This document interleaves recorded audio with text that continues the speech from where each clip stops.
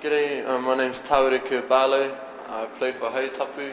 Um, I'm a halfback and I've been involved with Waikato for one year.